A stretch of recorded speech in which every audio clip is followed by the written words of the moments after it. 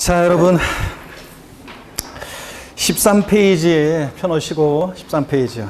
과세 표준에 따른 분류 있죠, 5번? 요거 이제 볼 건데, 그 전에 여러분들이 이제 설명 들었던 거, 지금까지 공부했던 거 한번 떠올려 한번 보세요. 에, 우리, 자, 첫 시간에 뭘 배웠었냐면, 다른 건 다 교양이고, 그냥 한번 읽어보는 거였고, 납부이행 방법, 조세 의의에서는 납부이행 방법, 요거 하나 잘 기억하면 되는데, 물론 이제 첫 시간에 제가 우리 시험 중요한 세금들, 부동산 세법이죠? 부동산 취득할 때 내는 어떤 거? 취득세, 등록면허세. 보유시부가 되는 어떤 거? 재산세, 종합부동산세. 팔 때 내는 세금 어떤 거? 양도소득세. 출제비중 말씀드렸고, 그 다음에 조세 의의에서는 다른 건 다 교양이고, 그냥 한번 읽어보시면 돼요. 그래서 아까 좀 빠르게 느끼다고 생각하신 분들은 예, 안 빨라 이거 이제 여러분들이 다 적응하게 돼 있고. 그 다음에 예, 그냥 한번 읽어보는 것들 있잖아요. 11월 12월만 읽어보고 나중에 1월 달에는 안 보는 것들이 있어요. 그런 것들은 제가 그냥 쭉쭉 빠르게 한번 읽었고요. 하여튼 다 교양인데 꼭 요거는 기억하셔야 납부이행 방법에서 시험에서 나오는 거. 우리 납부이행 방법으로서 물납과 분할납부는 원칙적으로 허용돼 예외적으로 허용돼요? 예외적으로만 허용됩니다. 그럴 때 예외적으로 허용되는데 물납에 허용되는 세금, 물납에 허용되는 세금. 자, 지방세에서는 어떤 것만 있다고 그랬습니까? 재산세 만 허용되지 다른 거 안 된다고 그랬어요. 재산세만. 속 하나 먹으면 안 되고 재산세만. 국세에서는 물납 허용되는 세금 어떤 거? 상속세만 물납에 허용되고 분할납부 허용되는 세금 지방세에서 어떤 거? 재산세, 분할납부 허용되고 국세에서 분할납부 허용되는 세금 종합부동산세. 그리고 양도소득세. 그리고 뭐 상속세나 증여세 아이고 고기를 드시고 아까 적어놓은 거 안 봐도 되고 상속세, 증여세, 법인세 등등으로 아, 등등 하여튼 분할 납부 허용됩니다. 다시 묻겠습니다. 자 종합부동산세는 물납에 허용돼야 안 돼요. 물납돼야 안 돼요. 안 되고 뭐만 분할 납부만 되고 양도소득세는 물납돼야 안 돼요. 안 되고 뭐만 돼? 분할 납부는 되고 분할 납부는 되고 자 취득세 물납돼야 안 돼요. 취득세 물납돼야 안 돼요. 안 된다니까. 분할 납부 돼야 안 돼요. 안 된다니까. 뭐만 재산세만. 자, 그래서 취득세, 물납, 분할 납부 다 안 돼요. 등록면허세 물납 돼야 안 돼요. 등록면허세 물납 돼야 안 돼요. 안 돼요. 분할 납부 돼야 안 돼요. 등록면허세 분할납부 안 돼요. 지방세에서 물납과 분할납부가 모두 허용되는 세금을 골라라 그러면 뭐만 고르시면 돼? 재산세만 고르시면 되고 국세에서 분할납부 허용되는 세금 뭐? 종합부동산세, 그 다음에 양도소득세, 상속세, 증여세 등이 분할납부 허용되고 있습니다. 이거 기억할 수 있겠죠? 예, 그 다음에 과세 주체에 따라서 조세를 분류할 때 국세지방세를 처음에 외울 거 아니라고 그랬어요. 외울 필요 없고 그럴 때 과세 주체에 따라서 국세와 지방세로 분류하는데 지방세는 과세 주체를 세분화해서 알아두셔야 되는데 지방세 과세 주체 일단 오늘 요것만 알고 가면 돼요. 취득세 과세 주체는 누구라고 그랬습니까? 과세권자는 특광도, 특광도. 자, 그리고 특광도가 과세 주체인 세금이 자, 취득세 말고 또 있었는데 지자로 이름 시작한 애들 중에서 네 가지 중에서 어떤 애만 빼놓고 나머지 세 가지가 자, 특광도였습니다. 어떤 애만 빼놓고 지방 소득세만 빼놓고 나머지 애들은 특광도다. 아직 잘 모르지만 지역자원시설세, 지방 소비세, 지방 교육세 나중에 뭐라도 괜찮아요. 취득세하고 지자로 이름 시작한 애들 세 가지가 뭐라고요? 특광도. 그 다음에 구도가 과세 주체인 세금이 있었는데 어떤 거다? 등록면허세. 등록면허세는 구도, 구세고 도세다. 특별시 광역시세가 아닙니다. 그 다음에 자 시군구가 과세 유치한 세금이 있었는데 더 있지만 하나만 알면 돼요 오늘은. 어떤 거면? 재산세는 시군구세다. 재산세. 그래서 취득세 특광도. 등록면허세 구도. 재산세 시군구. 지자로 이름 시작하는 애들 네 가지 중에서 어떤 애만? 지방소득세만 특광 시군이고. 나머지 애들은 다 뭐라고요? 특광 도, 도세입니다. 지방 소득세만 득광 시군이다. 아직은 잘 몰라서 가슴에 와닿지 않겠지만 세목들이 아닌 나서러서. 그 다음에 또 절 봅니다. 그 다음에 우리 이 세금 어, 조세 전가 유무에 따라서 이 세금 납부할 의무가 있는 자가 세금을 부담하지 않고 돈 내는 건 다른 사람에게 전가시키는 세금이 있었죠. 그래서 조세 전가 유무에 따라서 직접세와 간접세로 분류했는데 납세무자가 세금 부담을 다른 사람에게 전가시키지 않는 조세 우리 시험에 관계된 대부분 조세는 다 뭐다? 직접세다. 근데 납세무자가 세금 부담을 다른 사람에게 전가시킬 것을 예상하고 있는 세금을 뭐라고 한다? 간접세라고 하는데 그 간접세 대표적으로 하나만 알면 돼요. 어떤 게? 부가가치세 같은 게 간접세다. 납세무자가 세금 무담은 다른 사람에게 전가시키죠. 사업자가 재원하용 공급하고 공급받는 사람한테 거래 징수한다고 하는데 부가세를 받아가지고 세무세 내기 때문에 납세무자와 담세자가 일치에 불일치에 불일치하는 세금. 이런 걸 뭐라고 한다? 간접세. 예. 자, 또 보세요. 어, 이 세금 걷어서 어디다 쓸지 상 목적이 특정돼 있느냐, 특정돼 있지 않느냐에 따라서 보통세와 목적세로 분류했습니다. 우리 시험에 관계된 주요 세금들은 보통세다, 목적세다? 우리 시험에 중요한 다섯 개 취득세, 등록세, 재산세, 종부세, 양도세 이런 애들은 다 뭐라고요? 보통세입니다. 사용 목적이 특정돼 있지 않습니다. 이 세금 걷어서 어디다 쓸지 사용 목적이 애초에 정해져 있는 세금을 뭐라고 한다? 목적세. 어떻게 외웠습니까? 머리글자를 따서 교교, 농, 찌찌. 국세, 목적세, 교 뭐라고 그랬습니까? 교육세. 교, 교통에너지 환경세. 농 뭐다? 농어촌 특별세. 그 다음에 지방세, 목적세, 찌찌인데 지자로 이름 시작하는 네 가지 중에서 어떤 애가? 지역자원시설세. 그리고 또 하나? 지방교육세, 지역자원시설세, 지방교육세. 얘네들이 뭐라고요? 목적세, 지방세 중에서. 다시 목적세 어떻게 외운다고요? 교교, 농, 찌찌. 얘들만 목적세입니다. 그 다음에 13페이지 이제 5번에 과세 표준에 따른 분류 있죠? 자, 요걸 이제 설명을 드리겠습니다. 교재를 펴놓으시고 또 설명을 쭉 들으시면 돼요, 여러분들. 자, 여기 보겠습니다. 보시면은 요건 어떤 거냐면 이런 거예요. 우리 세금 계산을 어떻게 하느냐 보시면 세금 계산은 이렇게 해요. 과세 표준이라는 게 있어요. 과세 표준. 여러분 우리가 흔히 줄여서 이걸 과표라고 합니다. 과표. 아, 실생활에서. 과표 들어보셨죠?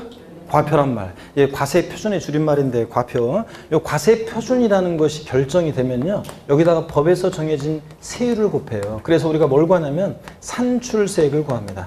지방세나 국세나 세금 계산은 다 이렇게 해요. 그래서 과세 표준 결정되면 곱하기 세율에서 산출세액 이렇게 해요. 그럴 때 이 과세 표준이라는 게 뭐냐면 세금을 계산할 때 세금을 계산하는 데 있어서 기초가 되는 세금을 계산하는 데 기초가 되는 가액이나 가액이나 금액 가액이나 금액 또 수량 수량 또 면적 면적 건수 한 건 두 건 그 건수 등을 우리가 과세 표준이라고 합니다. 다시요.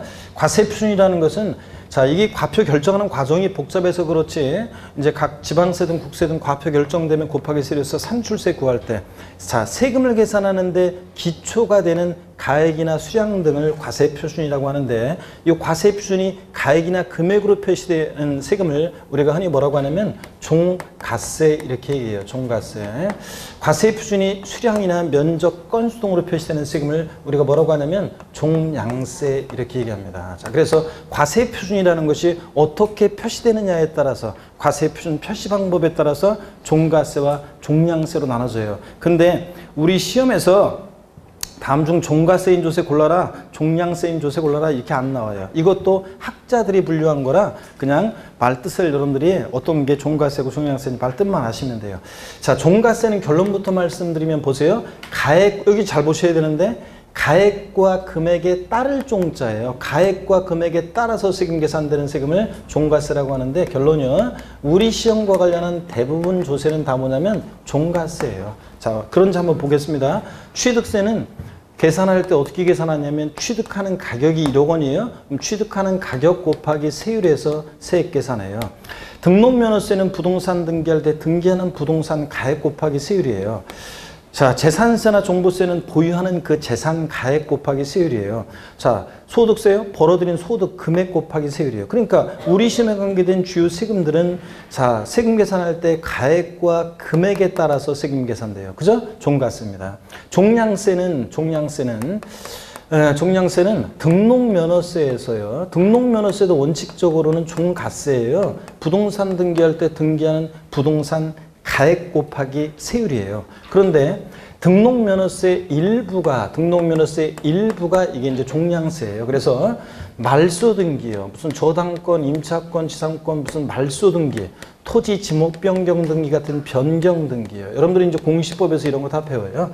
말소 등기나 변경 등기 같은 거 이런 거 할 때 등록면허세는 어떻게 계산되냐면 말소하는 한 건당 일정한 금액을 세율로 적용해요. 여러분 자 보세요.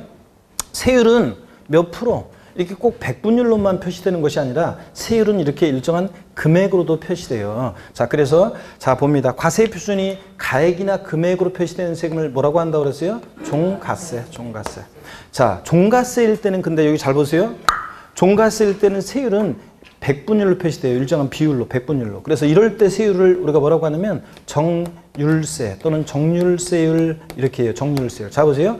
일정한 비율로 세율이 정된다고 그래서 이럴 때 세율을 뭐라고 한다? 정률세. 근데요, 종가세일 때는 무조건 세율은 일정한 비율로 정돼요. 그래서 종가세일 때는 과세 표준이 가액이나 금액으로 표시되면 세율은 무조건 정률세율이 정됩니다. 일정한 비율로.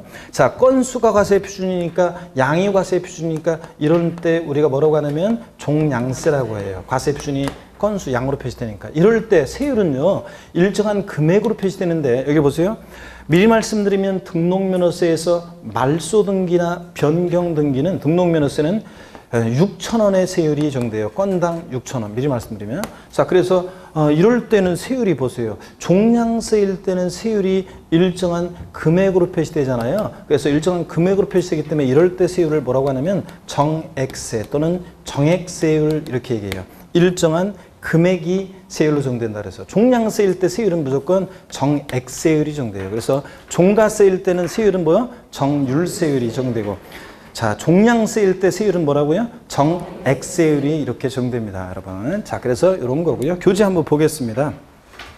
13페이지 5번 과세 표준에 따른 분류를 보니까 줄글 필요가 없어요. 세법에 의해서 직접적으로 세액 산출의 기초가 되는 과세 물건의 가액 또는 수량 면적을 과세 표준이라고 하는데 과세 표준이 가액이나 금액으로 표시되는 세금을 뭐라고 하냐면 종가세, 수량이나 면적 건수 등으로 표시되는 세금을 뭐라고 해요? 종량세라고 하고 그 바탕색 박스 안에 보니까 세금 계산은 어떻게 하느냐 과세 표준 결정되면 곱하기 세율에서 산출세 구할 때 그 과세 표준이 가액으로 표시될 때 가로 안에 뭐라고 되어 있어요? 종가세. 종가세일 때 세율은 일정한 비율로 정되죠. 이럴 때 세율을 뭐라고 한다고요? 정률세율 이렇게 일정한 비율로 정된다. 그 다음에 과세 표준이 수량 면적 등으로 표시될 때 가로 안에 뭐라고 해요? 이럴 때 세율을 종, 아, 이럴 때 과세 표준을 종량세라고 하고 이런 세금들을 이럴 때 세율은 일정한 금액이 세율로 정되니까 이럴 때 세율을 뭐라고 한다? 정액세율 이렇게 얘기합니다. 이해되십니까 여러분? 예. 그 다음에 양가로 1번 종가세 의여 그냥 읽어보는 거예요. 줄걸 필요가 없어요. 종가세란 과세 물건을 화폐 단위로 측정하는 조세로 과세 표준이 금액이나 가액으로 표시되는 것을 말하는데 세목 나와 있는데 하나하나 외우는 게 아니에요. 취득세부터 양도소득세까지 우리 시험에서 중요한 세금들은 다 뭐라고요? 종가세예요. 가액과 금액에 따라서 넘어갑니다. 양가로 2번에 보니까 종량세가 뭔지 나오는데 종량세 보세요. 의 종량세란 과세 물건을 화폐 이해 단위로 측정하는 조세로서 과세 표준이 수량 면적이나 건수 등으로 표시되는 것을 말하는데 세목 밑줄입니다. 등록면허세 중 뭐예요? 일부 어떤 거? 말소 등기나 변경 등기가 건당 6천 원이요. 미리 말씀드리면 건수 과세 표준이니까 종량세고 금액 6천 원이 세율로 정되니까 정액세율 정됩니다. 자 그리고 이제 나머지는 줄 긋지 마세요. 일단 지역자원시설세도요. 종량세인데 저를 한번 보실래요? 참고적으로 전력 전력 1 어, 지역 자원 시설세는 원자력 발전하거나 수력 발전하거나 화력 발전하는 자한테 전력 1kW당 얼마 이렇게 부과되기도 해요. 그러니까 양이 과세 표준이니까 종량세고 금액이 세율로 정되니까 정액세율도 정돼요. 그래서 지역자원시설세도 이렇게 종량세가 정되는데 몰라도 돼요. 문, 저 인지세는 문서 한 통당 얼마 이렇게 부과돼요. 문서 한 통당 얼마. 인지세는 문서에 부과하는 세금인데 문서에 부과하는 세금인데 한 통당 얼마. 그러니까 양의과세 표준이니까 종량세고 세율이 일정한 금액으로 적용됩니다. 정액 세율이요. 그런데 오늘은 뭐만 알면 되냐면 종가세, 종량세, 과세 표준이 어떻게 표시되느냐에 따라 조세를 나누는데 우리 시험에 관계된 주요 세금들은 뭐다? 종가세, 가액과 금액에 따라서 적용되는 종가세고 종률세 정되고 등록면허세에서 일부 말소 등기, 변경 등기만 뭐라고요? 종량세가 정된다. 종량세일 때는 세율이 어떻게 정된다? 정액세율로 정된다. 이렇게만 익히고 가시면 됩니다. 용어를. 자, 됐고요. 자, 그래서 시험에서 종량세인 조세를 골라라. 이렇게는 안 나와요. 그러니까 교양 삼아서 보시고 그 다음에 6번에 과조세 독립성이라고 되어 있는데 어, 과자를 지워버리셔야죠. 과자가 거기 왜 들어갔나? 자, 과자를 지워버리고 조세의 독립성에 따른 분류입니다. 과자 지우고 독립성에 따른 분류예요. 자, 그래서 여기 어떤 건지 소개를 해드립니다. 이건 또 시험에서 중요한데요. 잘 한번 봅니다. 예, 여기 보세요. 에, 자, 조세 독립성 여부에 따른 분류입니다. 독립성 여부에 따른 분류. 조세 독립성에 따라서 조세를 분류합니다. 고기 한번 드시고요. 자, 또 목 운동 한번 하겠습니다, 여러분들. 에, 자, 목 운동 한번 하시고. 아이고. 에. 자, 반대로도 돌리시고. 에. 허리도 또 한번 좌우로 우로 돌리시고. 에. 기지개도 뒤로 한번 화끈하게 제낍니다, 여러분들. 에. 아이고. 에, 처음 만나는데 이제 에, 앞으로 이제 긴 시간 또 함께 하실 건데 뭐 보니까 여러분들 에, 보니까 뭐 좋습니다. 그 뭐 이제 뭐 그 이 가운데는 처음 수업을 들었는데 어떤 분들은 똑같이 수업을 들었는데 어떤 분은 에, 어, 좀 이따 이제 또 복습 한번 해보겠지만 오 귀에 쏙쏙 들어오네요. 이렇게 얘기하는 분들이 있고 어떤 분은 정리가 안 돼요. 막 이런 분도 계시는데 정리는 정리는 언제 하는 거냐면 여름에 하는 거예요. 5, 6월 달 지나서 여름에 정리 들어가는 거고 어떤 수강생분은 첫 수업 듣고 아유 어려워요. 아유 세법이 어렵네요. 이렇게 계신 분들 계시는데 어려운 내용은 하나도 안 했어요. 지금 용어 설명하고 있어요, 여러분들. 자, 그래서 어려운 내용은 나중에 5, 6월 달 돼서 어려운 내용 나오고 지금 어려운 내용 아니고요. 에, 근데 왜 어렵다고 느껴지냐면 이런 거예요. 우리가 낯설어서 어렵게 느껴지는 것 뿐이에요, 여러분들. 에, 제가 있잖아요. 에, 법과 관련한 내용들은 사회과학적인 내용, 법적인 내용, 인문학적인 내용은 어떤 정보를 들으면요, 어, 뇌가요 잘 받아들여요. 그리고 잘 안 까먹고, 어, 기억이 잘 나요. 근데 어, IT 쪽에 있죠. 제가 그 문, 평생 골수 어, 문과다 보니까 문과로 이렇게 하다 보니까 에, 평생 그렇게 살아다 보니까 문과 쪽으로 그러다 보니까 어, IT 쪽 있잖아요. 이런 쪽에 잘 몰라요. 그래서 어, 무슨 제가 이제 뭘 어떤 걸 다운받아서 뭘 하고 좀 그러려고 할 때 그 직원들이 예, 직원들한테 주로 물어보는데 그 어떤 회사 이제 직원들이 예, 알려줘요. 이렇게 했어요. 이렇게 했어요. 이렇게 했어요. 요거 다운 받아가지고 여기서 이렇게 해가지고 이렇게 했어요. 딱 들을 때는 어 그래 어어어 어, 어, 알았어 알았어 어 그런데 딱 돌았으면요 아 잘 모르겠어요. 막상 집에서 해보려고 하잖아요. 안 돼요. 막 막혀가지고 그래서 또 물어봐요. 알았어요 분명히. 들을 때는. 근데 또 집에서 해보려면 잘 안 돼요. 그래서 막 나중에 컴퓨터를 들고 저 노트북 같은 거 들고 가가지고 좀 해줘라 이렇게 얘기도 하고 막 그럽니다. 그럴 정도로 사람은 살아온 어떤 그런 거에 따라서 어떤 특정 과목은 잘 들어오는 게 있는데 어떤 특정 과목은 잘 안 들어오기도 하고요. 그 다음에 지금 여러분들이 공부를 했었는데 꽤 한 지 오래됐고 또 법과 관련한 것은 법, 뭐 법대로 나오셨거나 그런 거 아닌 다음에는 법은 잘 모르잖아요. 그렇기 때문에 여러분들이 처음에 그 낯설어서 어렵게 느껴져요. 예, 그리고 또 낯선 정보들은 뇌가요, 금방 임시 저장소에 잘 모르겠으니까 임시 저장했다가 그냥 날려버려요. 그래서 그런 게 특징이 있습니다. 그래서 여러분들이 처음에는 낯설고 그러기 때문에 어렵게 느껴지는 것 뿐이지, 예? 어려운 게 아닙니다. 여러분들 아셨죠? 그래서 낯설어서 자, 그렇게 생소해서 낯설다. 그래서 저한테는 수업 끝나고 아, 어려웠다 이런 얘기하면 안 돼요. 여러분들 뭐라고 얘기한다? 생소했다. 낯설었다. 예? 자, 이런 식으로 얘기해야 됩니다. 아셨죠, 여러분들? 어려운 게 아니에요, 여러분들. 그리고 우리가 어, 길을 가보세요. 처음 오는 길을 갈 때는 있잖아요. 내비게이션을 키고 딱 저 가요. 어디 낯선 길을. 그러면 좌회전, 우회전, 뭐 몇 쪽, 저 1차로로 가세요, 2차로로 가세요, 막 그러면 처음에는 운전하면서 내비게이션 보고 따라가다 보니까 그 주변에 뭐가 있는지 아무것도 못 봐요. 그냥 내비게이션 따라가기도 바빠요. 그것도 내비게이션도 아이고 여기서 우회전하라고 했는데 어떻게 하다 보면 지나버리고 아니면 그 먼저에서 그냥 저 우회전 해버리고 막 이래서 헤매고 또 막 그렇게 합니다. 그래서 처음 가보는 길은 항상 그런 거예요. 처음 얻는 정, 보 처음 그 공부하는 내용들은 다 그래요. 처음 가보는 길하고 똑같아요. 어리버리하고 낯설고요. 그 다음에 규칙도 위반하게 되고 뭐가 있는지 주변에서 안 보여요. 그런데 두 번째 가보세요. 그러면 대충 이제 내비게이션 예, 안내할 때 우회전 어, 대충 여기서 하면 되겠구나 하고 그 다음에 이제 세 번째 가보세요. 그러면 몸이 자동적으로 우회전 좌회전 가면서 내비게이션 목소리만 들어도 대충 가면서 간판도 보여요 이제. 여기에 뭐가 있고 여기에 뭐가 있고. 그처럼들 그런 것처럼 공부도 똑같습니다. 그래서 처음에는 낯설고 그래서 생소하고 그래서 어렵게 느껴지고 또 정, 어, 금방 들어도 까먹고 그렇지만 보고 또 보고 계속 순환이 거듭될수록 여러분들이 이제 익숙해지고 나중에는 자기 것이 되는 거고. 특히 시험은 막판 두 달 그때 한두 달 그때 이제 공부하기 위해서 그때 마지막에 이제 공부하기 위해서 수많은 날들을 밑줄을 긋고 이렇게 하면서 공부하는 거예요, 여러분들. 그래서 그런 과정들 거쳐서 마지막에 이제 막 공부했던 거 이제 외우고 이렇게 하시면서 시험장 가고 시험장 가서 답을 골라내잖아요. 그리고 교문 나오잖아요. 나오면 벌써 있잖아요. 한 그 공부했던 곳의 상당 내용이 벌써 그 교문을 나서면서 벌써 다 날아가 버려요. 그래서 그날 답 맞추고 술 먹고 아 됐어 막 이랬잖아요. 그러면서 한 일주일 지나고 보세요. 일주일 지나고 보면요. 잘 생각이 안 나요. 대충 좀 큰 틀만 생각이 나지 구체적인 내용은 생각이 안 나요. 헷갈리고.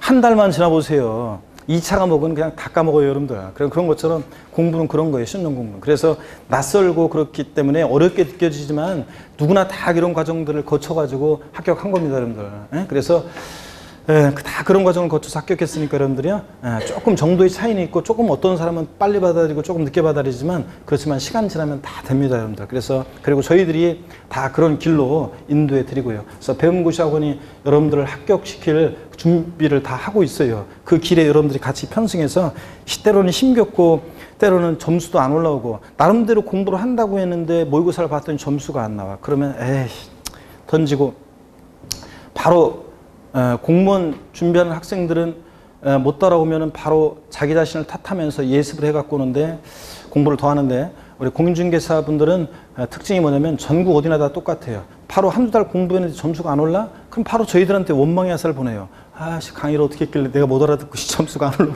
제가 그런 얘기 하는데 에, 여러분들 에, 그 본인이 에, 부동산 학개론 같은 것들이 보면 특히 그래요. 살아, 차- 어, 부동산 학개론이 나는 남들은 수요 공급 곡선이 이해가 된다는데 나는 이해가 안 돼. 난 이게 이해가 안 돼. 그러면은 자 강의하시는 교수님을 욕할 게 아니라 자기 자신이 가슴에 손을 얹고 생각해 보세요. 내가 어떻게 살아왔나. 주로 드라마 보고 경제신문 같은 건 안 보고 주로 드라마만 보고 이런 데 그러니까 에? 이해가 잘 안 되지. 어렸을 때 수포자. 아유, 난 수학 같은 거 숫자만 나오면 싫어. 막 이랬던 분들이라 그 개, 그런 거지. 그래서 근데 다 극복이 돼요, 여러분들. 그래서 우리는 어, 상대 평가가 아니잖아요. 남보다 한 문제 더 맞춰야 되는 시험도 아니고 60%이기 때문에 60%이기 때문에 커트라인이 80점 같으면은 진짜 힘, 저 힘들겠지만 60점이잖아요. 그러니까 여러분들이 에, 그 공부를 꾸준히 그냥 하시면 아까 얘기했듯이 누구나 합격할 수 있어요. 그냥 계속 보고 또 보고 보고 잊어버리면 또 보고 계속 그렇게 하시면 그러면 다 극복이 돼요. 그리고 100%다 맞아야 되는 거 아니잖아요. 60%니까 어, 30% 사- 사- 중상위급 난이도 문제 틀려도요, 제껴도요.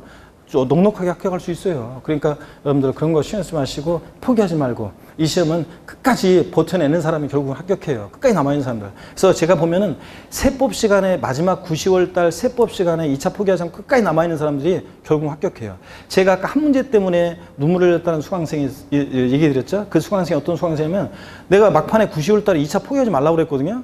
1차 점수를 들어보니까 60점 내외로 나와요. 어떨 때는 평균이 1차 과목 60점 넘기도 하고, 어떨 때는 좀 떨어지기도 하고, 60점 내외로 나와요. 모의고사가. 그러면 해, 그러면 학, 합격할 수 있는 사람이에요. 1차 동차로. 근데 2차를 계속 수업을 듣다가, 아, 1차가 뭐 어떨 때 모의고사 어떤 문제를 풀어봤더니 뭐 50 몇 점이 나왔다나? 그렇다고 안 해, 저 2차를 포기하겠다는 거예요. 근데 그러지 말라고 막 그랬거든요. 근데 결국은 9, 10월 달 수업을 안 나오고 그러더니 한 문제 차이로 떨어졌다고 하잖아요. 그래서 제가 그랬어요. 봐라, 9, 10월 그 수업을 들었으면 한 문제 그거 극복할 수 있었는데 그랬더니 본인이 요번에도 얘기했어요. 맞아요, 교수님. 그거 했으면은 제가 한 문제 헷갈렸던 건 그런 거 충분히 맞출 수 있었던 거였는데 그걸 제가 9, 10월 달 안 했더니 헷갈려 틀렸어요. 그렇게 하잖아요, 여러분들. 그런 것처럼 끝까지 저희들과 함께 하시는 게 중요합니다, 여러분들. 자, 조세 독립성 여부에 따른 분류를 한번 볼게요. 조세 독립성 여부에 따라서 조세는 어떻게 분류하냐면요. 이렇게 분류해요. 독립세라는 것과 독립세라는 것과 부가세로 우리가 구분합니다. 여러분, 독립세라는 것은 결론부터 말씀드리면 우리 시험과 관련 대부분 조세는 다 뭐냐면 독립세예요. 독자적으로 과세권자가 세원을 확보하기 위해서 부과하는 세금이에요. 독, 독립세. 근데 이 독립한 세금의 바늘과 실처럼 부과해서 받는 세금을 우리가 부가세라고 하는데 에, 국세 중에서도 부가세가 있고 지방세 세금들 중에서도 부가세가 있어요. 그런데 여러분 보세요. 우리가 실생활에서 사람들은 있잖아요. 부가가치세 있잖아요. 이 부가가치세를 사람들은 실생활에서 어떻게 얘기하냐면 이렇게 얘기해요. 아, 뭐라고 얘기하냐면 요번에 부가세 신고 얼마 해야 돼? 막 이렇게 얘기합니다. 자, 부가가치세를 줄여서 실생활에서 뭐라고 얘기해요? 부가세라고 얘기합니다. 이 부가가치세는 결론부터 말씀드리면 얜 독립세예요. 여기서 말하는 독립한 세금에 부과해서 받는 부가세가 아니에요. 그래서 공부하는 수험생일 때는 부가가치세는 뭐라고 얘기한다? 그냥 부가가치세라고 얘기해야지 줄여서 부가세 그러면 안 돼요. 자, 부가가치세입니다. 자, 독립한 세금의 발과 실처럼 부과해서 받는 부가세가 있는데 국세 세목 중에서는 교육세가 있고요. 어, 아까 어디서 봤는데 교교농 여기서 봤잖아요. 교육세는 예, 교육세는 예, 아, 자 국가 교육재정으로서 부과되는 목적세이면서 부가세입니다. 근데 이 교육세가 본세목으로 하는 그 독립한 세금이 본세목으로 하는 세금이 예, 시험과 전혀 관계 없는 거예요. 부동산과 전혀 관계 없는 거라 얘 몰라도 되고요. 농어촌 특별세 얘 봤죠? 교교농 이 농어촌 특별세가 얘가 이제 목적세이기도 한데 또 뭐라고요? 부가세입니다. 독립한 세금 받는 부가세고요. 지방세 중에서 또 부가세가 있는데요. 지방교육세요. 얘 봤죠? 찌찌. 자, 그래서 지방교육세의 목적세이기도 한데 또 뭐라고요? 부가세입니다. 독립한 세금이 부가에서 받는 세금이에요. 그럼 무슨 얘기냐면 여러분 이걸 보세요. 미리 말씀드리면 잠깐 보세요, 여러분들. 취득세, 여러분들이 부동산을 취득해요. 그러면 취득세만 내는 게 아니에요. 부동산 취득해서 취득세를 낼 때 모두 함께 내냐면 자 법에서 정해진 부가세가 있어요. 줄여서 농특세, 농어촌 특별세하고 지방교육세를 함께 내요, 여러분들. 자 그럴 때 여러분 보세요. 이걸 함께 내게 되는데 취득세를 독립세, 독립세 이걸 우리가 흔히 본세라고도 해요. 이걸 본세, 독립세로 해가지고 여기에 부가에서 받는 세금을 우리가 뭐라고 하냐면 부가세라고 그래요. 부가세. 예? 그래서 이 부가세는 독자적으로 얘네들만 따로 독자적으로 징수할 수 없어요. 이 부가세들은 어떤 특징이 있냐면 항상 이 독립세, 본세를 받을 때 부가에서 받는 세금이에요. 방금과 실처럼. 그래서 취득세 납세무자는 취득세 낼 때 취득세만 내는 게 아니라 법에서 정해진 농어촌 특별세와 지방교육세를 함께 내도록 법에서 정해놨어요. 근데 여러분 보세요. 이걸 이제 질문을 많이 하는데 내가 오늘 분명히 강의했어요. 나중에 또 질문하지 말고 잘 들어보세요. 취득세는 지방세잖아요. 그죠? 특광도가 과세주체인 지방세잖아요. 근데 농어촌 특별세는 얘 뭐라고요? 국세예요. 농특세는 얘가 국세인데요. 자, 지방교육세는 지방세고요. 그럼 여러분 보세요. 어? 아니 그 취득세 낼 때 농어촌 특별세랑 지방교육세 함께 낸다고 그랬잖아요. 그런데 얘는 국세고 얘는 지방세인데 이래도 되는 건가요? 묻는 분들이 있는데 과세가 다르다고 이렇게 질문하시는데 자, 본세목과 부가세는 과세 주체가 반드시 일치되느냐? 아니에요. 자, 다를 수 있어요. 왜 이렇게 다른가요? 그냥 그건 이유가 없어요. 국회에서 취득세 받을 때 그냥 농특세도 끼워서 같이 받자. 그냥 법에서 정한 거예요. 자, 그렇기 때문에 정한 거기 때문에 그냥 취득세 받을 때 농특세, 지방교육세 받아가지고 있죠. 예, 취득세하고 지방교육세는 그 지자체로 돈이 가고요. 이 농어촌 특별세는 지자체 세무 공무원이 받아가지고 이걸 국고로 보내줘요. 자 그런 거예요. 옛날에 어, 공, 어떤 지역에서 세무 공무원, 지방 세무 공무원 비리가 있었는데 이걸 갖다가 받아가지고 국고로 보내줘야 되는데 에, 뭐 이런 적이 이렇게 하는 것 같더라고 수법이 보니까 요번에 보내줄 거를 착복, 어, 요번에 받은 걸 어, 이렇게 착복을 하고 다 또 받은 거로 보내고 또 받은 거로 보내고 뭐 이런 식으로 한 번 띄어먹고 또 보내고 뭐 이런 식으로 한 것 같더라고요. 하여튼 어떤 간에 지자체로 보내주는 거예요. 자, 국고로 보내주는 거예요. 국가로. 그래서 하여튼 과세 주체 지방 독립세와 부가세는 과세권자가 일치하지는 않는다. 아셨죠? 반드시 일치할 것은 아니다. 이렇게 해서 부가세라는 것은 이런 거예요. 이 독립한 세금 받을 때 바늘과 실처럼 부가해서 받는 거예요. 시험에서는 어떻게 물어보냐고요. 취득세 부가세목으로서는 농어촌 특별세와 지방소득세가 부과된다. OX요. X입니다. 지방 소득세가 아니라 뭐라고요? 지방 교육세가 부과돼. 이런 식으로 여러분들. 자, 오늘은 말 뜻을 아시면 되는데. 자, 그런데 보세요. 이 농어촌 특별세하고 지방 교육세는요. 항상 여러분 독립한 문제로는 얘네들이 출제가 안 되는데 에, 100%안 되냐? 100%는 아니지만 99.9% 출제는 안 되는데 다만 얘네들 특징을 알고 있어야 되는데 농어촌 특별세나 지방교육세를 조세 총론에서 보시게 되면요. 항상 뭘 떠올려야 되냐면 뉘집 자식이냐. 이걸 좀 떠올려야 돼요. 무슨 얘기냐면 에, 요즘 보면 아파트에 같은 동에 이렇게 사는 사람들 있잖아요. 이웃 간에. 모르겠어요. 여자들은 보니까 뭐 아는 척도 하고 그러던데 남자들은 있잖아요 지하 주차장에서 이렇게 내려서 뭐 같은 동에 사는 사람 같이 엘리베이터 타고 그러니까 같은 동에 사는지는 알아요. 그런데 얼굴은 아는데 서로 인사는 안 해요. 남자들은 남자들은 그냥 어, 그런 거보다 그냥 가, 가- 같이 그냥 또 엘리베이터 같은 엘리베이터 타면은 말 안 하고 가만히 그냥 천장만 보고 있다가 내리고 그래요. 그런데 어, 저 같으면 이제 같은 동에 연세 드신 분이 계시는데 그런 연세 드신 분한테는 그냥 이렇게 목내 가볍게 목내하고 가거든요. 이렇게 목내하고 지나가는데 그 연세 많이 드신 분들 아닌 다음에는 그냥 인- 인사 안 해요. 아이고 저기 저기도 인사 안 하는데 나는 왜 인사해? 나도 인사 안 하고 가만히 있다 그냥 가거든요. 여자들은 이렇게 아는 척하고 막 그러죠. 자 여러분 보세요. 어떤 마을에 어떤 마을에 그 마을의 어른들이 마을 입구에 있는 큰 아름드리 나무 아래 정자에서 아, 얘기를 나누고 있는데 그 마을의 젊은 애가 그 옆을 지나가면서 어른들 보고 쌩까고 그냥 지나가요. 그럼 어른들이 뒤통수에 대고 한마디씩 하죠. 예? 감나무집 셋째 아들 중에 싸가지고 됐다 셨구나 한마디 하잖아요. 그런 것처럼 조세 총론에서 농어촌 특별세를 보시거든 뉘집 자식이냐 족볼 떠올려야 되는데 얜 농어촌 특별세는 보세요. 자, 이 농어촌 특별세는 줄여서 뉘집 자식이냐 그러면 얘는 국세고 그 다음에 교교농 목적세고 또 뭐라고요? 부가세입니다. 독립한 세금에 부가세 받는 부가세. 이걸 항상 떠올려야 돼요. 자, 지방교육세를 보시거든 조세 총론 공부할 때 항상 반사적으로 뭐가 떠올려야 되냐면 지방교육세는 지방세고 지방세고 또 뭐라고요? 찌찌 목적세고 또 뭐다? 부가세입니다. 자 그래서 뉘집 자식이냐 농특세는 뉘집 자식이라고요? 국세고 목적세고 부가세고 왜 안 따라 왜 안 따라 하셔? 자 농특세는 뉘집 자식이다. 국세고 목적세고 부가세입니다. 지방교육세는 뉘집 자식이다. 지방세고 목적세고 부가세입니다. 집에 가서 복습하면서 외우려고 그래요 여러분들? 아, 지금 외우고 가야지. 자, 그래서 다시 농특세 뉘집 자식이다. 국세고, 목적세고, 부가세고. 지방교육세 뉘집 자식이다. 지방세고, 목적세고, 부가세입니다. 자, 그러면 교재를 한번 보겠습니다. 여러분들. 교재를 보시면, 에, 교재를 보시니까 거기 6번에 조세 독립성에 따른 분류 독립세 봅니다. 줄글 필요가 없어요. 조세 중에서 다른 세금과 관계없이 과세권자가 독자적인 독자적인 세원에 대해서 부과하는 조세인데 부가세를 제외한 대부분 조세가 다 이해당합니다. 부가세 봅니다. 다른 세금에 부가하여 과세하는 조세인데 국세 중에서 밑줄입니다. 교육세가 뭐? 농어촌 특별세가 있고 지방세 중에서 뭐가 있다? 지방교육세가 있다. 밑줄. 그리고 중요한 것은 이거예요. 그저 있죠? 부동산 관련 다섯 개 본세목 취득세부터 양도세까지 얘네들하고 그 부가세를 우리가 이제 아셔야 돼요. 취득세 부가세는 농어촌 특별세와 지방교육세가 부과되고요. 등록면허세는 지방교육세가 원칙적으로 부과되는데 예외적으로 감면받을 때는 농어촌 특별세가 또 부가세로 부과되기도 하고요.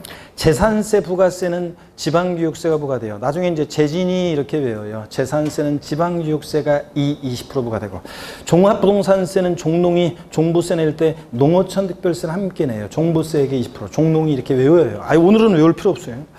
양도소득세는 납부세목에 납부세에게 부가 납부세에게 부가세는 없는데 감면받을 때 농특세가 부가세로 부과돼요. 농특세도 함께 내는데 자 오늘은 됐습니다. 오늘은 외우려고 할 필요 없고 잘 보세요. 오늘은 부가세가 뭔지 용어를 익히시고 부가세 종류 국세에서 부가세는 뭐 하나만 기억하라고요? 농어촌 특별세.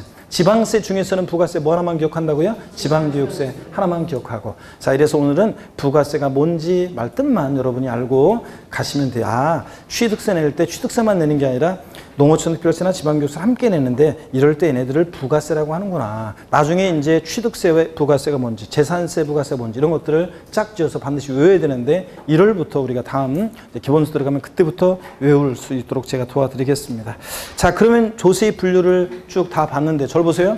왜 이 조세 분류를 공부했느냐? 왜 우리가 이 조세 분류를 공부했냐면 이런 것 때문에 그래요. 자, 여기 한번 보겠습니다. 여기를 치우고요.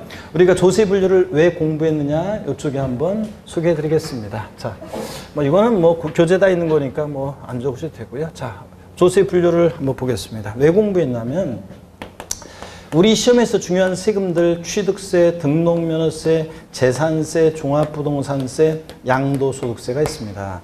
자, 다섯 개 주요 세목을 중심으로 우리 시험 문제 출제되잖아요. 그럴 때 이 다섯 개 세목의 성격, 특징을 파악하기 위해서 우리가 공부한 거예요.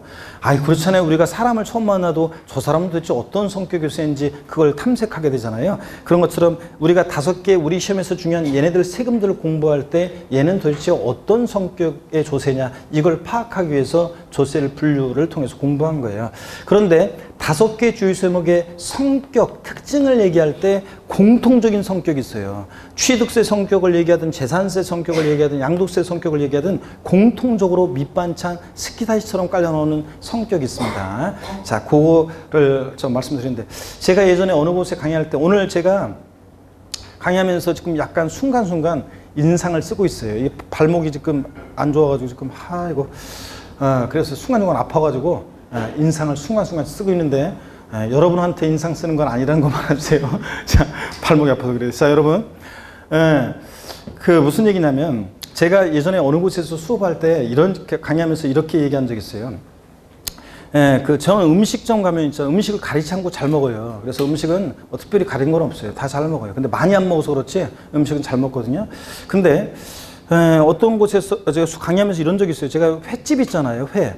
횟집을 가면 좋은 횟집을 갈수록 밑반찬 스키다시가 처음에 쫙 나오잖아요. 그럼 저는 그런 걸 먹잖아요. 뭐 스키다시 딱 밑반찬 먹고 나면 나중에 본 메인 메뉴 나왔을 때 배불러서 못 먹어요. 그래서 그냥 한두 점 먹고 그냥 나와요. 그래서 제가 계산할 때 아, 돈이 아까워요. 아, 왜냐면 나는 그냥 거의 메인 메뉴로 못 먹고 스키다시 좀 먹다가 그냥 나오는 거니까. 그래서 제가 어, 살 때는 횟집은 안 가요.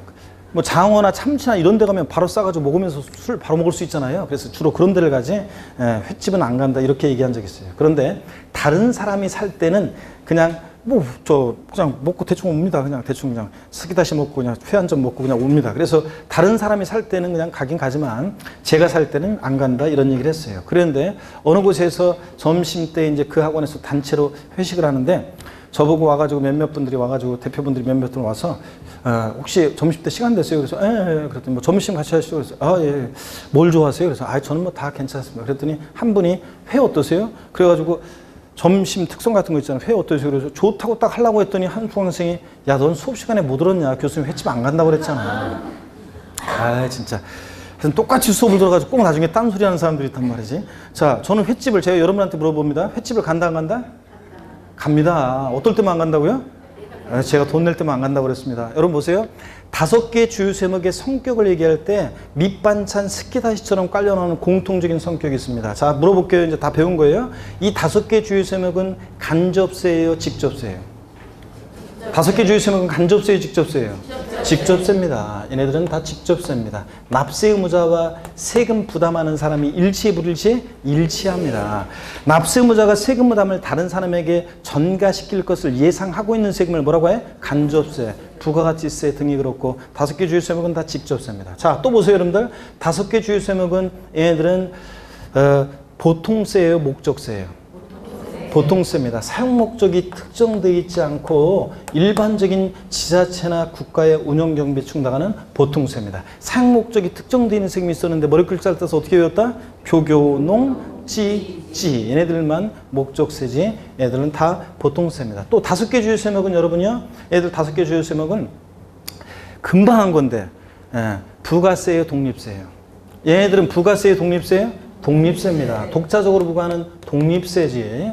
얘들 부가세가 아닙니다. 부가세, 독립한 세금에 부과해서 얘네들 받을 때 같이 바늘과 실처럼 부과해서 받는 세금, 부가세가 있는데 국세 중에서 부가세, 교육세하고 또 뭐 있다고 그랬습니까? 교육세하고 뭐가 있어 부가세? 농어촌 특별세. 아이고 뉘집 자식이냐 국세고 목적세고 또 뭐라고요? 부가세. 자, 그 다음에 지방세 중에서 부가세가 있는데 뭐가 있다고요? 지자로 이름 시작한 데네 가지 중에서 부가 세인의 어떤 거? 지방교육세. 지방교육세는 뉘집 자식이냐? 뉘집 자식입니까? 지방세고 목적세고 또 뭐다? 부가세입니다. 아 입에서 툭툭 튀어나오게 자꾸 하라니까 여러분들 집에 가서 외우시려고 하지 말고 자 독립세입니다. 다섯 개 주셨으면 독자적으로 부과하는 세금이고 자그 다음에 다섯 개 얘네들 세금들은 종양세입니까? 종가세입니까? 다섯 개 주셨으면 종가세 종량세예요. 종가세입니다. 가액과 금액에 따라 세금 계산되는 종가세입니다. 종가세일 때는 세율이 정액세율이 정도예요? 정율세율이 정도예요? 네? 종가세니까 뭐라고요? 정율세율이 정도입니다. 정율세율이. 자, 이렇게 해서 자, 다섯 개 주요 제목은 어떤 성격의 주제냐를 특징을 파악하기 위해서 조세의 분류를 통해서 공부한 거예요. 다섯 개 주요 제목은 자, 예를 들면 어떤 성격의 주제라고요? 직접 세고 보통 세고 독립 세고 종가 센 세금들입니다. 그래서 얘네들 성격을 얘기할 때 얘네들 항상 요거는 공통적으로 그냥 깔려 나오는 거예요. 의뢰이 그냥. 아시겠습니까, 여러분들? 아, 그래서 자, 조세의 분류를 통해서 요걸 공부했습니다. 그 다음에 어, 14페이지 부동산 활동에 따른 분류 있잖아요. 자, 요게 어떤 건지 좀 소개를 해 드리겠습니다, 여러분. 자, 이쪽 봅니다, 여러분들. 요거 마지막으로 요거 설명드리기 전에 광고 하나 좀 하도록 하겠습니다, 여러분들. 어떤 광고를 하려고 하냐면 저를 보세요. 예. 에, 제가 그, 에, 그 카페, 제 다음 카페 하나 소개해 드릴게요, 여러분들. 우리가 이제 에, 그, 뭐 공적인 질문이나 이런 것들은 여러분들이 그 우리 다, 우리 배움, 배움 우리 이제 에, 고시학원 우리 저 홈페이지가 있잖아요. 사이트 있고 그런데 에, 여기다가 보면은 이제 그 여기서 뭐 그 주저리저리 자기 그 개인 그 공부 안 되고요. 요즘은 힘들고 하이 막 그래요. 뭐 이런 신산탄을 거기다 하면은 좀 민폐잖아요. 자, 그러니까 어, 개인적인 어떤 여러분들 공부하시면서 제가 고민도 듣고 뭐 이런저런 그 얘기도 하고 나누면 좋은데 여러분들하고 저희들이 그 저, 저하고 여러분하고 현실적으로 뭐 시간을 뭐 이렇게 밥을 같이 먹고 뭐 그럴 시간도 거의 없고 없을 것이고 뭐 술 한 잔 먹고 그런 이- 뭐 힘든 얘기도 하고 그래야 되는데 그럴 저 이유는 시가 거의 없잖아요, 여러분들. 그러다 보니까 카페에다가 여러분들이 그런 개인적인 뭐 그런 것들 질문이나 고민 같은 것도 하시고 아 인생 질문은 안 되고요. 저도 인생이 힘들어요 지금. 자, 그, 어, 그 시험과 관련한 그런 고민들 뭐 또 공부에 관한 거 학습에 관한 질문도 하시고 세금과 관련해서 개인적인 저거 있을 때는 학습에 관한 질문은 뭐 언제든지 하세요. 여러분들 수업 끝나고 수업 시간에는 손 들지 마세요. 다른 과목도 막 전체 전 과목 다 수업 시간에는 손 들지 마세요, 여러분들. 아 수업하고 있는데 강의하고 있는데 톤딱 들어가지고 저기요 뭐 이러면서 하면은 수업 진행이 안 돼요 여러분들. 그리고 다른 사람은 다 알고 있는데 나만 모르는 게 있고. 그리고 어차피 나중에 다 알게 된 내용인데 지금 괜히 미리 뭐 질문하고 그래봤자 의미가 없는 질문들도 많고 그러니까 일단 항상 수- 시간에 질문하지 말고 쉬는 시간에 질문하세요. 그러면 저희들이 봐서 이제 의미가 있는 질문들은 또 알려드릴 거예요. 근데 대개는 여러분이 궁금해하는 것들은 이미 지금 수 많은 거쳐간 수험생들이 다 질문을 했던 거예요. 다 여러분이 궁금해하는 건 다 다른 사람도 궁금해해서 저희들이 다 단계별로 다 알려드려요. 그러니까 일단은 개인적인 질문은 수, 어, 쉬는 시간에 여러분들이 꼭 하시고 수업 끝나고 하시고 언제든지. 아 그리고 오프라인 장점이 뭐예요? 언제든지 와서 질문할 수 있어야지. 그래서 언제든지 와서 질문을 하시고요. 또 개인적인 세금 관련한 지금도 질문도 하세요. 근데 저보고 세금 계산해 달라고 하면 안 돼요, 여러분들. 그거는 안 됩니다. 에, 그건 나중에 이제 그 국세청 홈페이지 홈택스 들어가면 모의 계산이라고 해서 세금 계산 다 해볼 수 있어요. 쟁점이 되는 것만 저한테 물어보고 세금 계산은 여러분이 거기다 숫자만 입력하면 쫙 계산이 돼요. 그러니까 그거는 저한테 해달라고 하면 안 돼요. 어떤 분들은 그거 저 세금 계산 저보고 해달라고 하는데 제가 바쁜데 그거를 언제 그거 해주고, 해주고 있어요. 애초에 한 사람만 허용하는 순간 다 누구나 해줘야 되기 때문에 처음부터 무조건 안 해줘요. 냉정하게 세금 계산 안 해줍니다. 논점만 물어보시고 세금 관련한 거 논점 물어보시고 제 또 카페에 오시면 에, 이제 그 제 친구 변호사가 있어가지고 에, 법률 상담도 해줘요, 여러분들. 그래서 무료로 받을 수 있습니다. 자, 여러분 보세요. 그 포털 뭐 네이버에는 네이버에 에, 하시면은 거기 옆에 카페를 또 한번 클릭을 해야 되고 포털 다음에서는 그냥 다음에서는 제 이름만 치시면 돼요. 다음 카페가 있는데 예. 여기 그 오시면은 그냥 제 이름만 치면 돼요. 강성규 예, 교수 또는 세법 예, 이렇게 요거만 치면 하도 많이 검색해가지고 강성 딱 치면은 가수 거북이의 강성균과 함께 제가 바로 그냥 자동 검색어로 떠요. 사람들 하도 검색을 많이 해가지고 예, 뜹니다. 그래서 예, 강성규 세법이나 교수 치시면 다음 카페 나와요. 그래서 여러분들이 회원 가입을 하시는데 회원 가입하면 예, 요거 회원 가입하는데 요거 다음 카페 앱도 있어요. 스마트폰으로도 여러분들이 볼 수 있습니다. 아, 빠른 수험생들은 제가 요거 얘기하고 있는 다 얘기도 안 끝나는데 이미 벌써 드- 회원 가입하는 사람도 있는데 여기 보세요.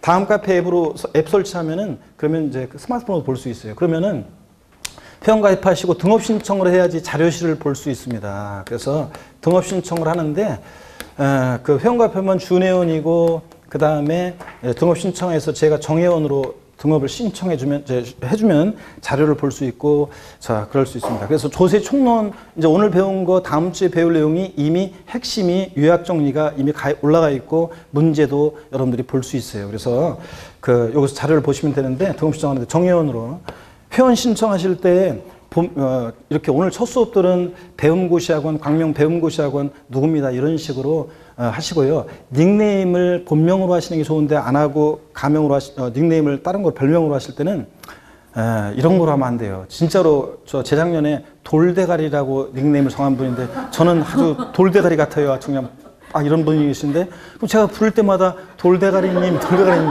이게 안 좋잖아요, 여러분들.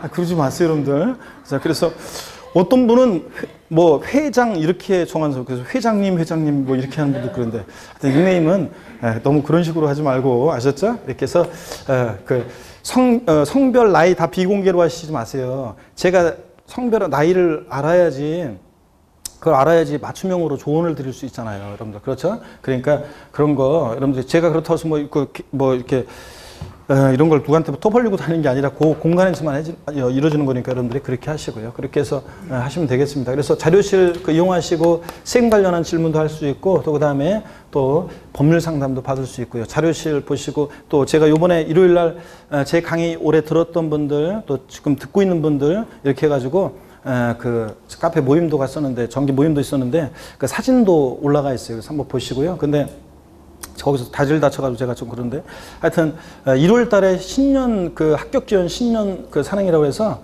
에, 또 1월 달에 한 번 또 가요. 그러면 그 높은 산 올라가는 게 아니라 그냥 둘레길 돌아요. 그냥 둘레길 돌고 그러면서 에, 같이 이제 바- 전, 저, 점심 먹고 술 한잔 하고 이렇게 합니다. 그럼 합격의 선배들도 와요. 실무에 있는 제 강의를 들었던 있는 선배들도 오고 뭐 여러분들이 오십니다. 지금 강의 듣고 있는 분들도 오시고 여러분처럼 그런데 오는데 전국적으로 모이니까 어, 어떤 교수님은 보니까 뭐한 4, 500명씩 모이는 분도 있다고 하더라고요. 저는 어떤 해에는 3명 모일 때도 있어요. 그래서 아 진짜 최악의 경우가 3명이었었는데 남성만 2명 왔어요. 그것도. 여성 2명이면 그래도 좀 아, 그래도 좀 괜찮아. 남성 2명 와서 셋이 있어. 제가 항상 모임을 1차, 2차, 3차 가서 다섯 명 이하로 남거 다섯 명 정도 남거나 대여 대여섯 명 남거나 뭐 모임한테 다섯 명 이하로 남거나 그러면 제가 술 사주거나 그렇게 하거든요. 근데 항상 다섯 명 넘으면 n분의로 이렇게 해요. 그날 먹은 거 그냥 n분의로 하는데 세 명 왔으니까 제가 밥 사주고 그랬죠. 술 같이 사주고 같이 먹었어요. 그런데 그 중에 한 수강생분이 교수님 노래방 가시죠. 그러길래 아이고 세 명이서 남자끼리 무슨 노래방이다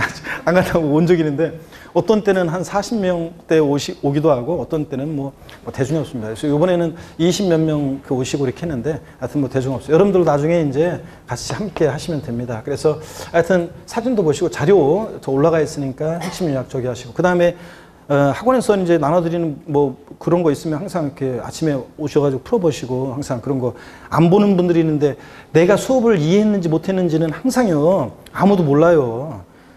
문제를 풀어봐야 알아요. 내가 이해했는지 못했는지는. 그래서 네, 그래서 반드시 문제를 서 풀어보시고 또 요- 요약 정리돼 있고 그러니까 이렇게 이용하시기 바랍니다. 아셨죠, 여러분들? 그래서 강성규 세법 또는 교수 하시면 되고 다음 카페 앱을 설치하면 스마트폰으로도 다 볼 수 있습니다, 여러분들. 그렇게 하시고요.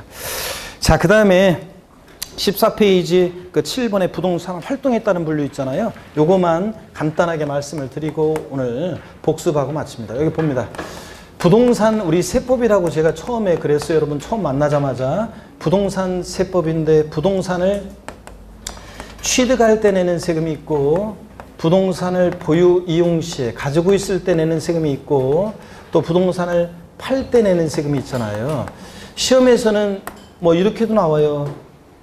최근 같으면 시험에서 나온 것이 다음 중 부동산 취득 시에 납부하는 조, 취득 시에 취득자가 납부할 수 있는 조세로 옳게 짝 지어진 것을 골라라. 이렇게 문제가 나온 적도 있고. 다음 중 부동산 보유 시에 부과되는 조세와 그 부가세 연결이 올바른 것은 이렇게 나오기도 하고. 다음 부동산 양도 시에 양도자가 납부할 수 있는 조세가 아닌 것은 뭐 이렇게도 나오고요. 그래서 취득할 때 보유할 때 양도할 때 부과되는 세금이 어떤 건지 알아야 되는데 아직은 여러분들이 세목들을 아직 안 배웠기 때문에 지금은 이제 자세한 건 나중에 차차 배워나갈 것이고요. 오늘은 요것만 알면 돼요. 이미 배웠어요. 부동산 취득할 때 내는 대표적인 세금 어떤 거예요? 취득세. 그 다음에 또 있었는데요. 등록면허세. 부동산 취득할 때 내는 대표적인 세금입니다. 더 있지만 오늘은 이렇게만요. 보유 시에 부과되는 대표적인 세금이 있는데 재산세요. 그리고요. 지역자원시설세, 지역자원시설세. 자, 얘 찌찌 목적세였잖아요. 그죠? 아니, 찌찌가 아니죠. 아, 얘는 아닌데. 어, 찌찌였지. 목적세에서 찌찌였지. 지역 간의 균형 발전이나 수자원 보호 등과 소방시설 같은 공동시설을 유지할 목적으로 부과하는 목적세였죠. 특정 자원분과 특정 부동산분으로 나눠진다고 그랬잖아요. 그럴 때 특정 부동산분 지역자원시설세. 얘는 잘 보세요. 다시요. 얘가 이제 시험에 의미가 있는데 소방시설 같은 공동시설을 유지하려는 목적으로 특정 부동산 보유자에게 부과한다고 그랬잖아요. 그래서 이 특정 부동산분 지역자원시설세는 부- 특정 부동산 보유 시에 부과되다 보니까 재산세처럼 부동산 보유 단계에서 부과되고요. 제가 미리 말씀드리면 이 지역자원시설세 특정 부동산분은요. 재산세 친구예요. 그래서 재산세가 가는 곳이면 어지간하면 웬만하면 다 따라다녀요. 그래서 물납, 분할납부만 안 따라다니죠. 허용 안 되지. 나머지는 재산세가 있는 곳이면 의뢰이 누가 같이 있다고 생각하면 돼? 지역자원시설세, 특정부동산분. 항상 같이 있다고 생각하면 돼요. 항상 재산세가 나와 있는 곳에 누구도 같이 나온다? 지역자원시설세, 특정부동산분. 얘도 같이 항상 나온다고 생각하면 돼요. 뭐만 허용 안 돼? 얘 물납, 분할납부만 안 되지. 나머지는 다 재산세 따라간다고 생각하면 됩니다. 자, 그 다음에 부동산 보유 시에 부과되는 대표적인 국세가 있는데 뭐가 있냐? 종합부동산세.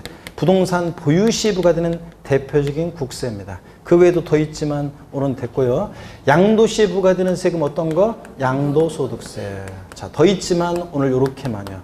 자, 그럴 때 다시요. 부동산 취득할 때는 대표적인 세금 어떤 거? 취득세, 등록면허세. 보유 시에 부과되는 대표적인 세금 세 가지만 오늘 알고 가면 돼요. 어떤 거? 재산세. 그리고 그 친구 지역자원시설세, 특정부동산분, 그리고 종합부동산세. 양도시에 부과되는 대표적인 세금 어떤 거요? 양도소득세. 자, 그럴 때 용어 설명 한번 드려볼게요. 부동산 취득과 취득과 양도 과정에서 취득과 양도 과정에서 부과되는 세금을 우리가 뭐라고 하냐면요. 유통과세 이렇게 얘기해요. 유통과세. 유통과세. 유통세 또는 유통과세 하는 조세. 유통과세. 여러분, 유통이다 그러면 이런 거잖아요. 왔다 갔다 하는 거죠? 자, 저를 보세요. 취득한다 그러면 소유권이 뭐예요? 오잖아요. 양도한다 그러면 소유권이 가잖아요. 그러니까 유통이니까 취득과 양도는 왔다 갔다잖아요. 오고 가고 이런 걸 유통이라고 하는데 부동산 취득과 양도 관련한 조세를 뭐라고 한다고요? 유통과세.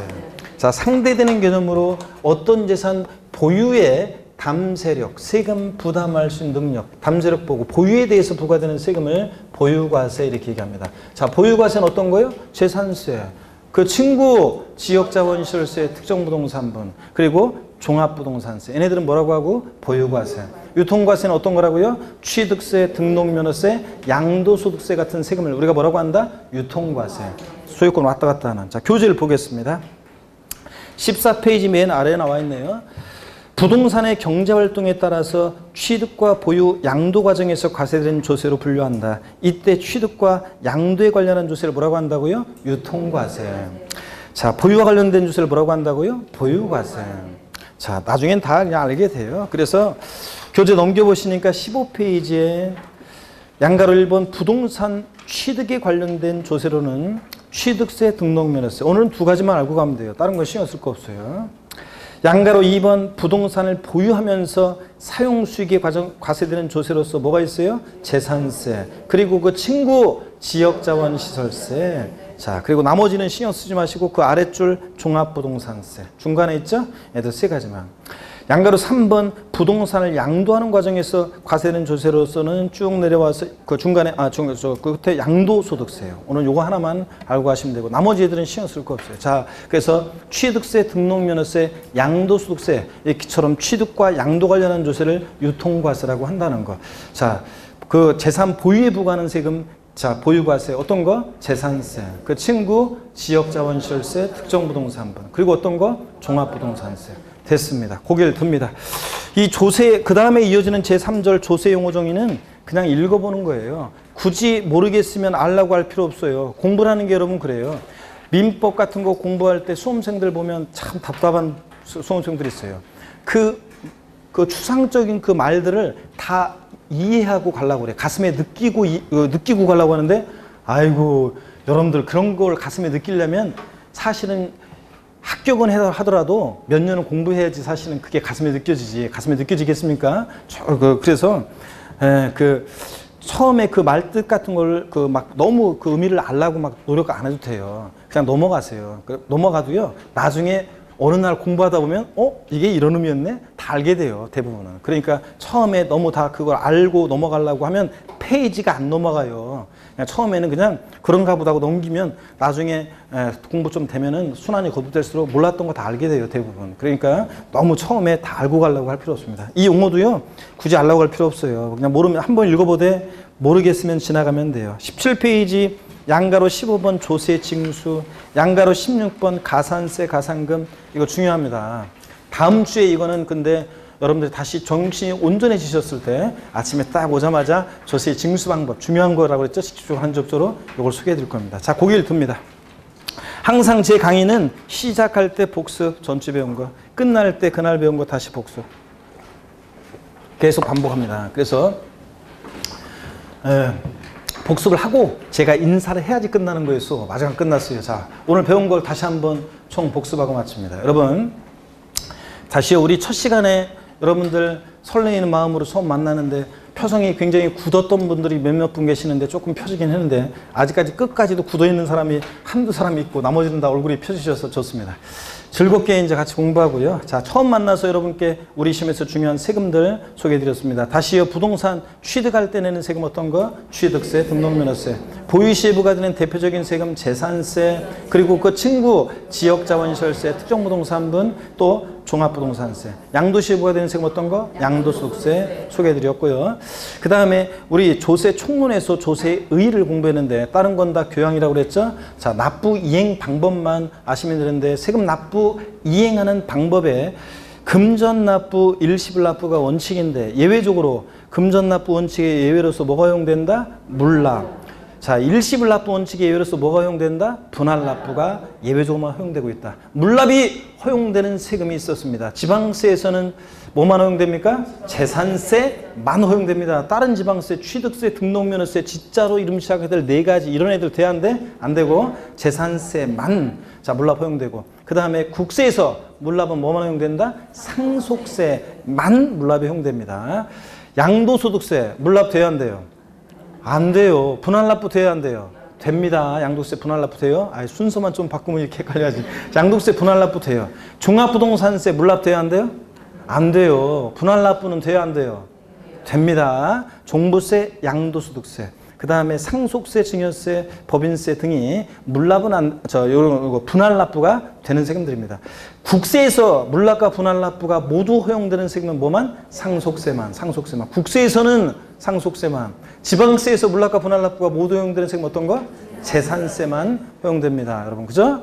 예, 아이고, 이거 했는데. 자, 그 다음에 우리가 과세 주체에 따라서 조세를 분류할 때 국세와 지방세로 나눌 때 지방세 과세 주체는 세분화해서 알아두라고 그랬습니다. 자, 취득세 과세 주체는 누구라고요? 과세권자는 특광도. 자, 또 특광도가 과세 주체는 세금이 지자로 이름 시작한 애들 네 가지 중에서 어떤 애만 빼고 지방 소득세만 특광 시군이고 나머지 지자로 이름 시작한 애들은 다 뭐라고요? 특광 도 도세입니다. 취득세, 지자로 이름 시작한 애들 세 가지 특광도. 자, 구도가 과세 주체는 세금이 있었는데 어떤 거? 등록면허세. 등록면허세는 구도가 과세 주체입니다. 그죠? 재산세는 과세권자가 누구라고요? 시군구, 시군구. 자, 지자로 이름 시작한 지방세 네 가지 중에서 지방소득세는 과세 주체가 누구라고요? 특광 시군, 특광 시군이고. 그 다음에 특별자치도와 특별자치시는 11개 지방세 세금에 다 과세 주체가 돼요. 그래서 뭐 그거는 특별자치도와 특별자치시가 있는 곳에서는 무조건 특별자치도나 또는 특별자치시가 과세 주체가 됩니다. 세종특별자치시 조치원 읍에 있는 재산이면 재산세 누가 납 과세권자가 돼요? 예? 세종특별자치시. 제주특별자치도 서귀포시에 있는 재산에 대한 재산세는 누가 과세주체가 돼요? 제주특별자치 도지사가 과세주체입니다. 아이 특별자치도와 특별자치시는 무조건 걔들이 과세해 주시고 자 그래서 요 정도 그 다음에 우리가 조세 분류를 통해서 다섯 개 주요 세목의 성격 특징을 파악했습니다. 우리 시험에서 중요한 취득세부터 양도세까지 다섯 개 주요 세목의 공통적인 성- 성격 밑반찬 스키다시요. 자 취득세부터 양도세까지 다섯 개 주요 세목은 절 봅니다. 저 컨닝하지 말고 간접세예요, 직접세예요. 직접세입니다. 납세무자와 담세 일차는 직접세고 다섯 개 주요 세목은 얘들은 종갓세예요, 종양세예요. 종갓세입니다. 가액과 금액에 따라 세금 계산되고 종갓세니까 세율은 정액세율 정도예요, 정률세율 정도예요, 정률세율이 정도입니다. 다섯 개 주요 세목은 독립세예요, 부가세예요. 독립세입니다. 독자적 부가는 독립세고 독립한 세금에 부가해서 받는 세금을 부가세라고 하는데 국세 세목 중에서 부가세, 교육세는 제가 알려드릴게요. 또 뭐가 있어요? 농어촌 특별세. 지방세 중에서 부가세 뭐가 있다고요? 지방교육세, 지방교육세. 그래서 농어촌 특별세 나왔다. 뉘집 자식이냐? 농특세는 뉘집 자식입니까? 국세고 목적세고 부가세고 국세고 목적세고 부가세고. 지방교육세는 뉘집 자식입니까? 지방교육세는 뉘집 자 식이에요? 지방세고 목적세고 부가세고 아 이런 것들 자 여러분들 오늘 요 정도 이런 것들 기억할 수 있겠습니까 여러분들? 아, 괜찮습니다. 처음에는 이게 나중에는 별거 아니에요. 그냥 용어 배운 건데 이게 지금은 어이 막 찡하잖아요. 나중에 1월 달에 또 합니다. 1월 달에 또 할 때는 처음 1월 달에 온 사람들은 여러분처럼 또 어, 그냥 찡하고 있는데 여러분들은 그때 되면 그냥 저절로 나옵니다. 여러분들 그때 되면. 자, 그래서 또 할 거니까 걱정하지 말고 시험에서 중요한 것은 또 하고 또 합니다. 그래서 이렇게 해서 여러분들이 이런 것들을 에, 그 기억하려고 노력을 하시면 돼요. 그러면 까먹어도 괜찮아요. 또 하고 또 합니다. 아셨죠, 여러분? 에, 자, 저를 보시고 아까 제 카페 에, 그 소개해드렸고 거기 여러분들이 그 자료 그 핵심 요약권 다운 받으시면 되고요. 에, 하여튼 여러분 만나서 반갑고 멘트 하나만 날리고 마치도록 하겠습니다. 여러분 이게 공인중개사 시험은 긴 시간을 공부해야 되잖아요. 이게 하루 이틀 아니고. 자, 그리고 아까 말씀드렸다시피 에, 좀 들었더니 잘 모르겠다고 그래서 낯설어서 모르는 거라고 그랬습니다. 어려운 게 아니고. 그렇기 때문에 여러분들 나중에는 다 그냥 알게 되는 것들이에요. 낯설어서 어렵게 느껴지지만 끝까지 버텨내시면 나중에는 다 합격할 수 있습니다. 하여튼 에, 합격계 많은 선배들은 에, 머리 그 저 머리가 좋아서 아니면 시간을 뭐 엄청 많이 투자해서 그런 것도 아니고 에, 자 열심히 꾸준히 같이 저희들과 함께 했기 때문에 합격한 거고요. 자 그래서 포기하지 않고 아, 끝까지 예, 내 끝까지 다- 내년 그 시험장 갈 때까지 끝까지 이 자리를 지켜서 공부해서 반드시 29회 시험 때 공인중개사가 당당히 되겠다 다짐하는 의미에서 오늘 힘찬 박수 치면서 마치겠습니다. 여러분 고맙습니다. 수고하셨습니다.